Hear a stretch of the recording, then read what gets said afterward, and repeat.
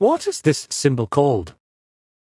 ampersand, What is this symbol called? colon, What is this symbol called? hyphen, What is this symbol called?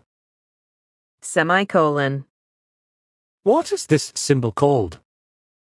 curly bracket, What is this symbol called?